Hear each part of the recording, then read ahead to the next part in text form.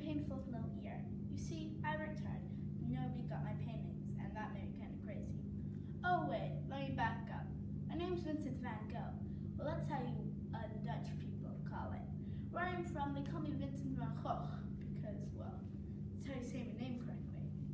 Anyway, you might be wondering why I cut my ear off, and I have a perfect reason why. Nobody knows. You see, on a thing you call Google said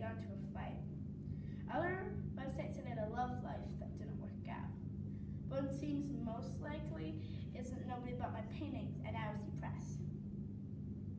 I'm so happy everybody loves my paintings nowadays. Back 130 years ago, nobody loved them nor myself. I was born in Zundert, Holland. Then I moved to Paris, which inspired to change the way I did my art. I changed the world with my art. I used movement.